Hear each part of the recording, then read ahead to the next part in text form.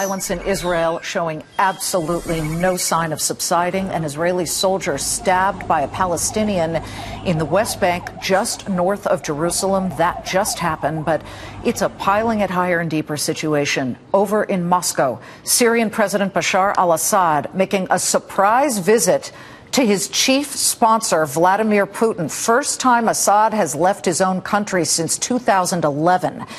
Will it be John Kerry to the rescue? The Secretary of State will sit down with the Middle East leaders to try to keep tensions from reaching a boiling point. Is he too late? Joining us now, the man who represented Israel at the forefront of these tensions, Dan Gillerman, is the former Israel ambassador to the UN and now a Fox News contributor. You just flew in from Israel. What's it like on the ground there?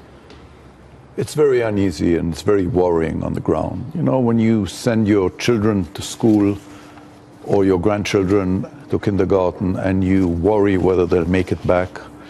When people are worried about going to a mall or sitting in a restaurant or just buying a Coke somewhere, it's, it's a horrible situation. And, and it's a horrible situation because you have these Palestinian youth who are raised by textbooks which advocate killing Israelis and shedding their blood, well, there are and videos, imams uh, I mean, inciting them. There are videos of little children holding kitchen knives now saying, I would like to kill a Jew.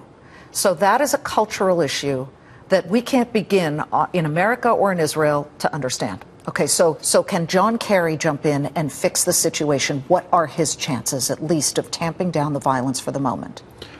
Well, I'm sure John Kerry wants to do the right thing, and I, I'm sure he cares, but I think his chances are very slim.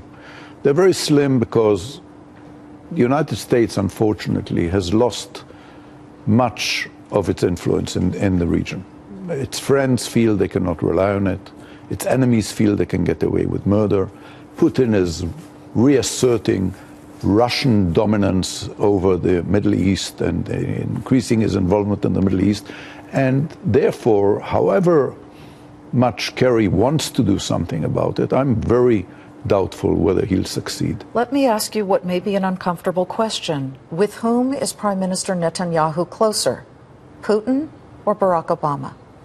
That's a very uncomfortable question, but uh, I hope that uh, Prime Minister Netanyahu and President Obama will be able to, you know, regain the confidence which those two leaders must have in each other when they meet at the beginning of November.